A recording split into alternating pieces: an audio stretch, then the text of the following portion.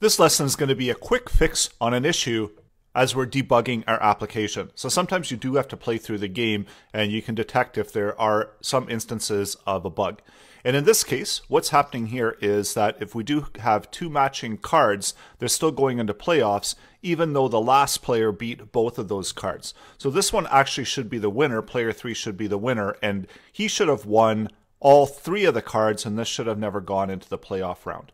So there is a code update that we have to do, and the place to add that in is where we look and we see that if we have a greater than the current high, then what we're doing is we're overwriting the winner. And we should also clear out the playoff values, as in this case, we're running through and we're clearing out all of the playoff content values anymore, and we just can clear that out. So we're clearing out the playoff array if the current card value is higher than the current high card. So let's try that out. And again, we're in order to test this out, ranks values, so we're playing with less cards, so we can better simulate this occurrence happening again.